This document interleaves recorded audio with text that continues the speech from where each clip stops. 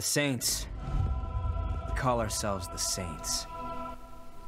Saints Row is here in 2022 with a reboot. The game originally came out in 2006 and spawned four more Saints Row titles over the next nine years. Saints Row has a lot of content from main missions to rivalries and other side content. Criminal Ventures is a gameplay mechanic introduced in Saints Row as an evolution of the activity system from the original series. They are used for territory takeovers and earning cash.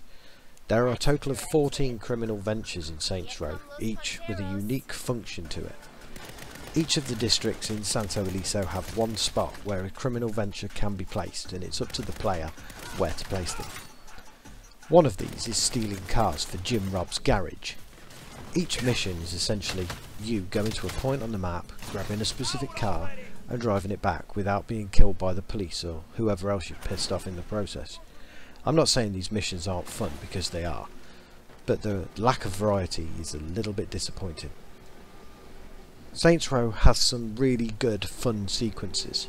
The main campaign has you storming a high security prison, tearing through enemy bases and competing in a murder tournament. As for the gameplay, it's a true Saints Row affair. The weapons wheel is there, you'll be hijacking cars and helicopters. Anyone who's played a Saints Row game isn't going to be surprised at the core of how this plays. Honestly, I was a little bit disappointed in things feeling a little bit too familiar, because there's a lot less nostalgia at play here, and more things being the same as they were.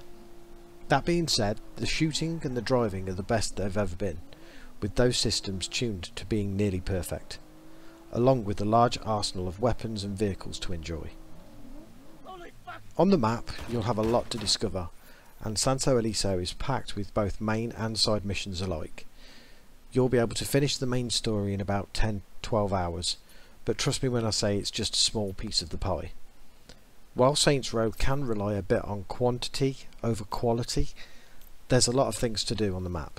Some things are as easy as searching a dumpster or taking a photo of a landmark, but where things get more complex is the empire you're looking to build. We have the new flow system, a welcome addition to the Saints Row combat experience. As you progress through the game, you'll unlock skills that you can use during combat to destructive effect. These range from grenades and smoke bombs to anime fire punches and vampiric health stealing buffs. With abilities, takedowns and the massively over the top gunplay, it will make you feel a little bit superhuman. It rarely feels like a fair fight. In fact, mowing down hundreds of enemies in Saints Row often feels gratuitous. The majority of vehicles are also completely customisable, allowing you to mix and match with paint jobs, extra fittings and even hood ornaments should it strike your fancy. There are a wide range of distinct rides on offer as you make your way through Saints Row's busy open world. Muscle cars, convertibles and even jet bikes are readily available to those that just go in search of them. Fans of the series will be pleased to know that the radio is Bach too, allowing you to cruise down the highway accompanied by anything from back to KRS-One. Graphically, Saints Row feels like it's stuck between generations.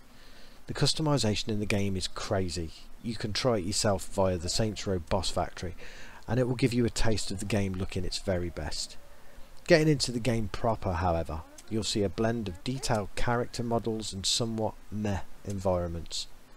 Still, there's something to be said for the gangs. Each of the criminal organisations in Saints Row have a theme, and here they embrace it to the hilt.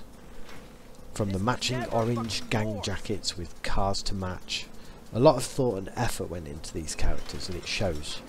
I just wish the environments lived up to the same standard. Overall, if you play Saints Row, I guarantee that something about it will make you laugh. It might be a quip from one of the central cast that gets you, or perhaps you will revel in the childlike joy that only comes from flipping a car full of police officers over with a dumper truck. Despite sometimes seeming ashamed of its own excesses, Volition packs in enough of them to amuse almost everyone. Who messes with the Saints? No one! I said, who messes with the Saints? No one! You're goddamn right, no one!